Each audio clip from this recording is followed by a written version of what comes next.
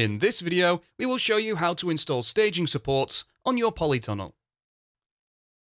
Please note, staging worktops are not supplied.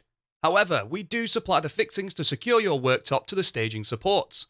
We will show you how to secure your worktops with fixings at the end. Here are the parts you'll need. Staging supports come in three pieces. The staging top tube is 1.2 meters long and is flattened on both ends.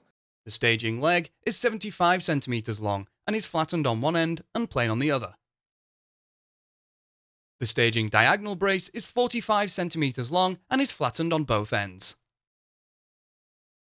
Connect the staging top tube and staging leg together with a 30mm M8 bolt and nut, ensuring a right angle is formed. Position a Q-clip onto the staging leg and another onto the staging top tube. Locate the flat ends of the staging diagonal brace to the Q-clips. Ensure the top tube and leg still form a right angle and firmly tighten the Q-clips. Fit a Q-clip to the hoop.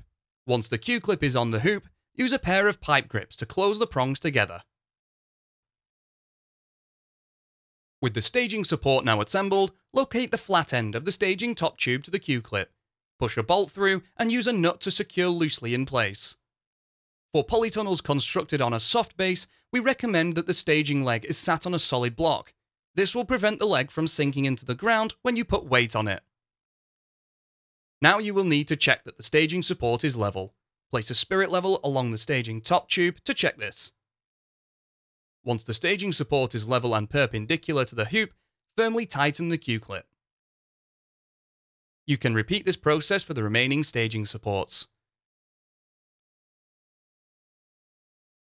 Staging supports fitted to the end hoops will need to be slightly angled into the polytunnel, so that any worktops you fix will not interfere with the polytunnel cover.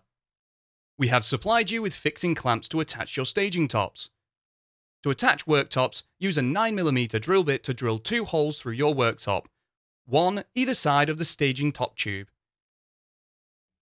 Push a bolt through each hole with the threads pointing down. Locate the tube pressing on the bolts and secure in place with nuts and firmly tighten. You can find more videos to help you build your polytunnel and construct.firsttunnels.co.uk. We also have a construction helpline if you require any further assistance.